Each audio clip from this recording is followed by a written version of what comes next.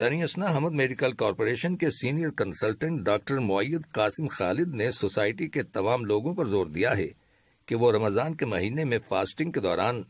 Dehydration, यानी जिस्म में पानी की कमी, गर्मी की शिद्दत और जिस्म में गर्मी से मुंसलिक दीगर प्रॉब्लम्स के वार्निंग साइंस से बाखबर रहें।